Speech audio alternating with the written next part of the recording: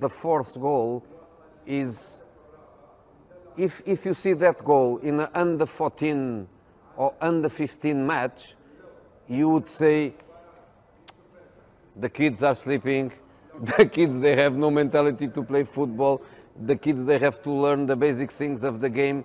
But we are speaking about the best players in the world, and to concede that goal really shows you a state of mind.